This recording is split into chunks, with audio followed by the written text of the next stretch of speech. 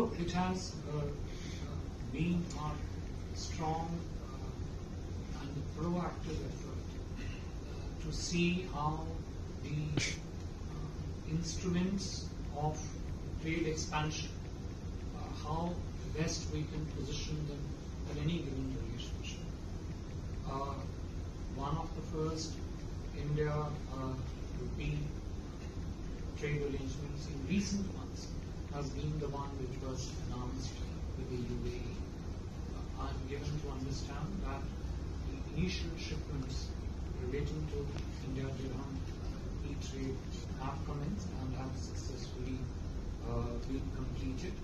Uh, we are uh, soon going to bring out a set of the standard operating procedures also.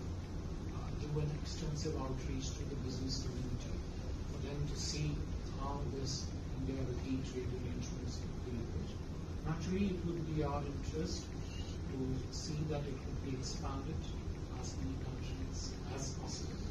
Uh, India trading arrangements in another currency always have very extensive regulatory uh, elements, uh, but also the elements that involve the commercial banking channels, something which requires uh, extensive due diligence.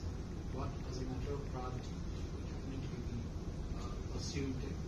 Uh, how far we reach it is something to be seen. With this, if I could request